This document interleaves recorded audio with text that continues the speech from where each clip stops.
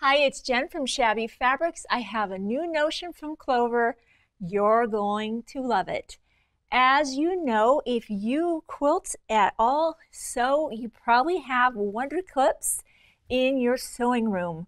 Whenever I'm wanting to hold layers together, uh, maybe for sewing them together, absolutely for my binding, I'm grabbing either for my mini wonder clips or my bigger wonder clips, and I, I use them every single time that I put my binding on. Well, along the way, Clover said, well, wait a minute. What about if in the process of doing the quilting, we could create a product that we think you would love just as much as you love your Wonder Clips? And they've done it. These are called Wonder Pins.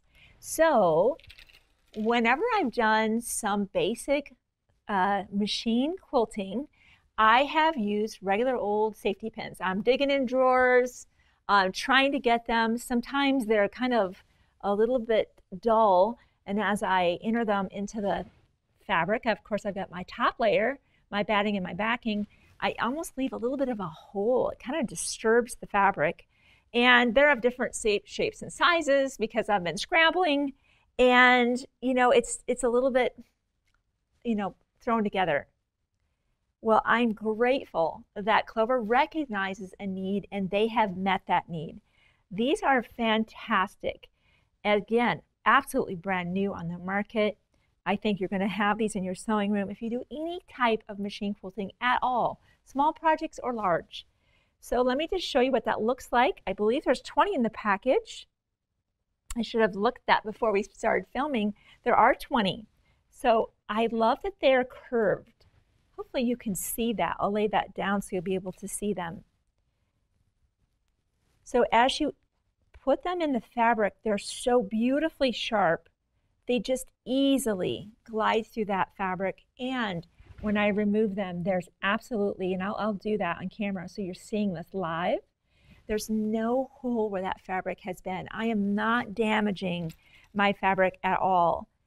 So they glide in just beautifully and they I love that they're just they're very soft to work with in your hand. They feel really nice. Now let's say that you're sewing along, you're quilting along, I should say, and all of a sudden you're like, you know what, that pin is in my way. I can easily, with one hand, remove that. They do mention that on the package about open and close with one hand. I do find opening easier with one hand than I do putting them in. And in the beginning, right, there's no reason to be using one hand necessarily. But I know what that's like when I'm quilting and I'm trying to hold everything steady and I don't want to remove this hand. And I can literally just pivot that to the side and remove that. And I'm on my way. So I couldn't wait to show these to you.